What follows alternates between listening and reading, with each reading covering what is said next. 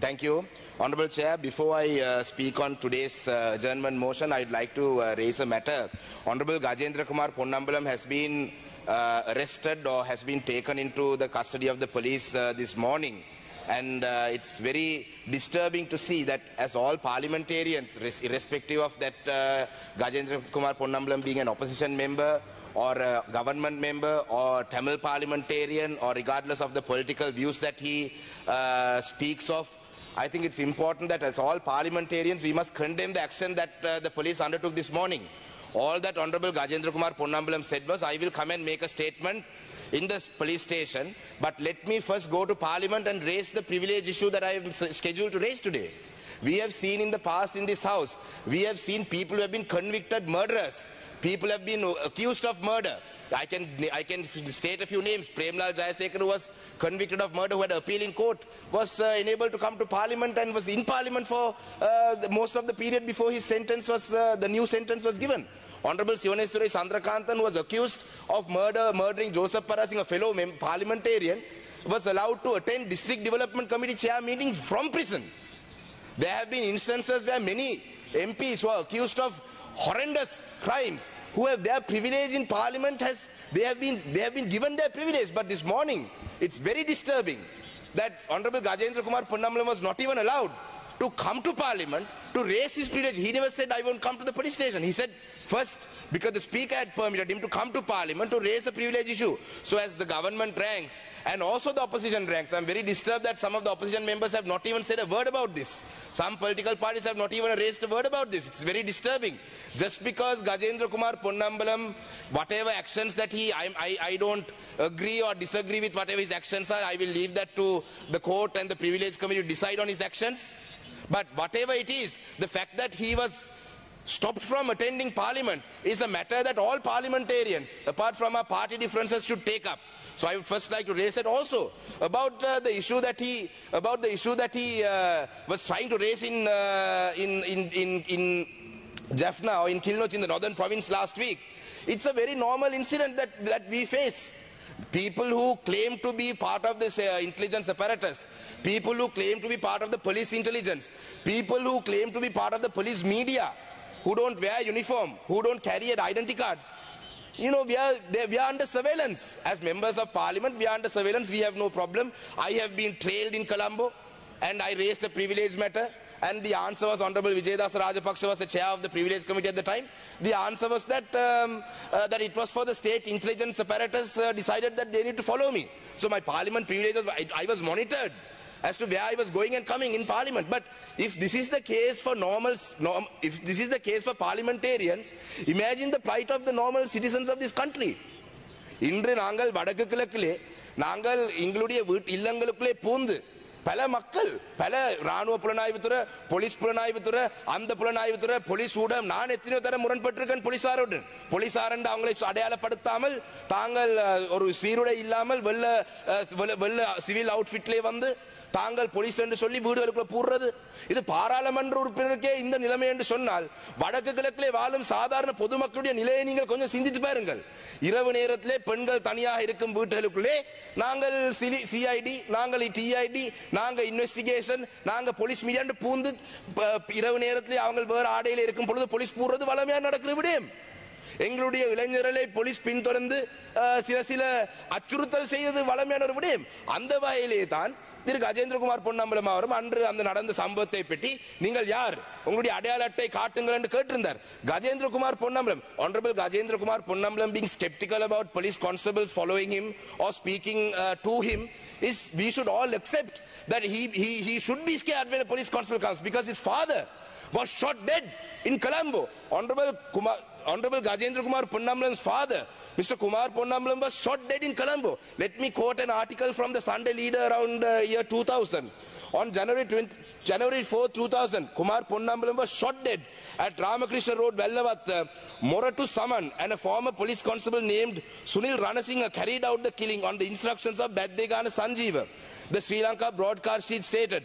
Now, let me also quote that uh, the, who these people were. They were not. Uh, they were not just ordinary people.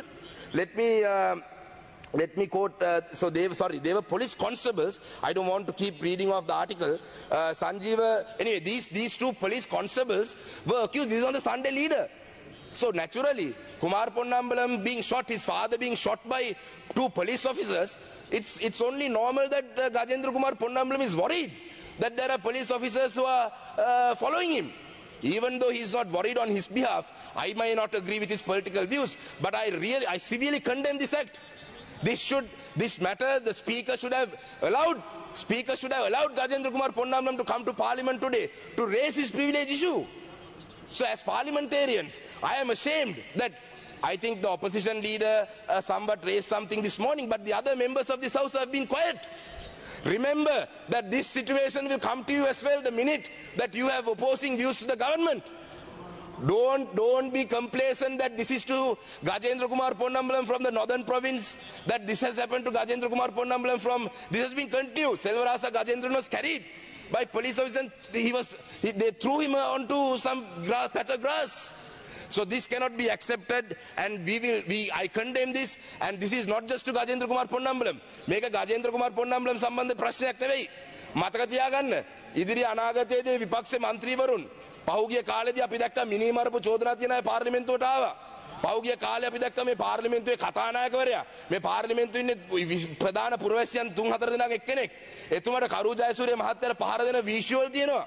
කාටද action ගත්තේ? Visual තියෙනවා පුටු කඩනවා mic කඩනවා පොත් වලින් ගහනවා. Action ගත්තද? මර්වින් සිල්ව ගස් බැන්දා ඇක්ෂන් ගත්තද? මට කියන් යනවා නම් මේ රටේ. ඇයි අපි පහුගිය මැයි නම වෙනිදා අරගලේ දේශබන්දු තෙන්නකෝන් එක්ක කහපාර ටී-ෂර්ට් ඇඳගෙන මිනිස්සු ආව පාර්ලිමේ පාරට අයිලි වල අරගලේටම කටේ ගැහුවා.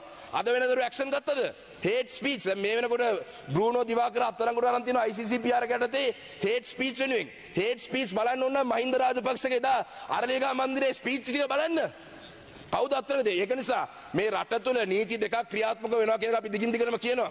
ගජේන්ද්‍ර කුමාර් පොන්නම්බලම් පොලිසිය දැක්කම එයාට සැකයක් ඇති වෙන එක සාධාරණයි. මොකද එයාගේ පියාව වෙඩි තියලා මරලා තියෙන්නේ පොලිසිය නිලධාරි දෙන්නෙක් කියලා මේ සණ්ඩේ පත්තරේ කියනවා. ඒ මිනිස්සයා MSD ආරක්ෂාවත් භාවිතා කරන්නේ නැති මිනිස්සෙක්. ඉතින් ඒ වගේ තත්ත්වයක් යටතේ එයාගේ වරප්‍රසාද ප්‍රශ්නයක් අද එයා මතු ගන්න ආවේ. පොලිසියට අත්තරංගුවට ගන්න නම් ඒක හරි ක්‍රමවේදයක් ෆලෝ කරන්න. කට උත්තරයක් ගන්න නම් හරි කට උත්තරයක් ගන්න. එහෙම නැතුව මේ උදේ පා- මම දැක්කේ පොලිසිය නිලධාරියෙක් කියනවා ඇරස් ගන්න වරන්ට් එකක් නේ සර් ඉන්නකෝ පොලිසියට සර් ඉන්නකෝ පොලිසියට. ඉතින් පොලිසියේ පහළ නිලධාරීන් එක්ක අපිට කිසිම ගැ- තර- තරහක් ගැටලුවක් නැහැ. ඒ මිනිස්සු එතුමන්ගේ රාජකාරිය කරන්නේ හැබැයි ඒ රාජකාරයට අනදුන කණ්ඩායම් ගැන තමයි මම මේ අවස්ථාවේ අනතුරු නැගවීමක් කරන්නේ. මේ පාර්ලිමේන්තුවේ ආණ්ඩු පක්ෂ විපක්ෂින්න මන්ත්‍රීවරු මතක තියාගන්න. හෙට නැවතත් මේ තත්ත්වය ඕගොල්ලන්ට ඇති වෙන්න පුළුවන්. අද ආණ්ඩු පක්ෂේ වාඩිලා ඉන්න පුළුවන්. අද විපක්ෂේ වාඩි වෙලා සමහරලාට ආණ්ඩුවත් එක්ක ගරුමන්තුමා තව විනාඩි දෙක කාලයක්. හිතවත් වෙන්න පුළුවන්. ඒක නිසා සමහරලාට ඔබතුමාට මේ ප්‍රශ්න නැති වුණත් ඉදිරි අනාගතේ ඔබටත් වෙන්න පුළුවන් කියන්න පුළුවන්. ඒ වගේම තමයි අද වෙනතුරු අද මේ අපි මේ ස්මෝල් ටු මීඩියම් එන්ටර්ප්‍රයිස් ගැන කතා කරනවා. we are talking about uh, entrepreneurs. අපි මේ බිස්නස් ගැන කතා කරනවා. ගරු රමේෂ් පතිර ඇමතුමා ගැන මට පව් ඉතින් එතුමා හොඳ ඇමති කෙනෙක් එතුමා දක්ෂ ඇමති කෙනෙක් හැබැයි එතුමත් අද මේ ගැන කියද්දි එතුමා පොඩ්ඩක් කල්පනා කරලා බලන්න ඕනේ මේ රටේ ව්‍යවසායකයන් නැති කරද්දි ඔබතුමත් ඒ කැබිනට් එකේ හිටියා. අද 30 35 40යි 20යි පොලි 128යි 135යි 135ට පොලි අරන් පොලි ව්‍යාපාරයක් කරන්න පුළුවන්ද? පොලි අනුපාතයක් ගෙවලා කරන්න පුළුවන්ද? මේ රටේ පාස්කු ප්‍රහාරය කරේ ඔබතුමාගේ පෙර නායකයා කියලා අද වෙනතුරු චෝදනා තියෙනවා.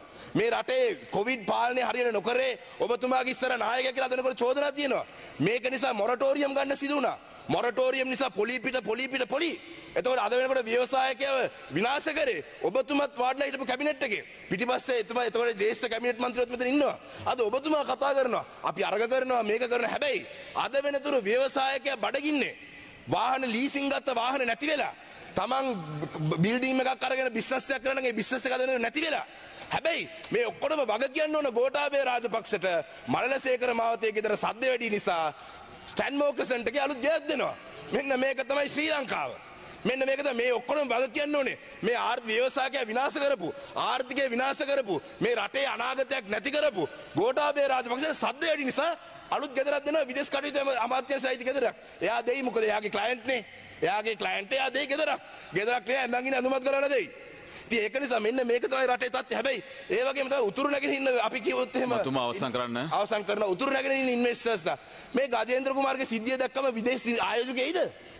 දෙමළ ඩයස්පෝරාවෙන් ආයෝජකයෙයිද? වෙන ඕන රටක ආයෝජකයෙයිද?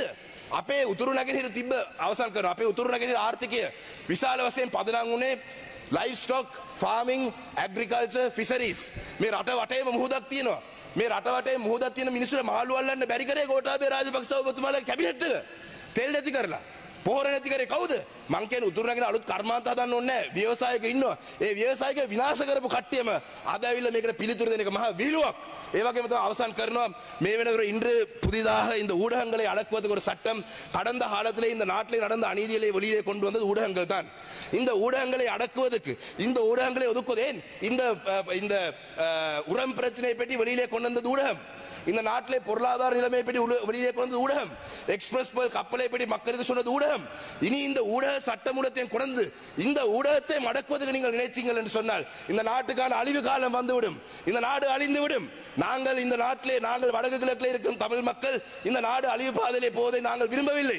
எங்களுக்கான நிரந்தரமான ஒரு அரசியல் தீர்வை வழங்குவது கூட நாங்களும் இந்த நாட்டை சுபிச்சமான ஒரு நாடாக மாற்றுவதற்கு நாங்களும் பங்களிப்பு செய்ய தயாரா இருக்கும். ஆனால் அரசாங்கம் இவ்வாறான ஊடகங்களை கூட அடக்கிறதுக்கான சட்டங்கள் கொண்டு வருவதன் ஊடாக அரசாங்கம் அழிவு பாதையிலே போவதென்றதை இந்த நாட்டுக்கு அறிவிக்கிறார் என்ற செய்தியை சொல்லி. எனக்கு சந்தர்ப்பத்தை தந்ததுக்கு நன்றி சொல்லி கௌரவ உறுப்பினர் அவர்கள்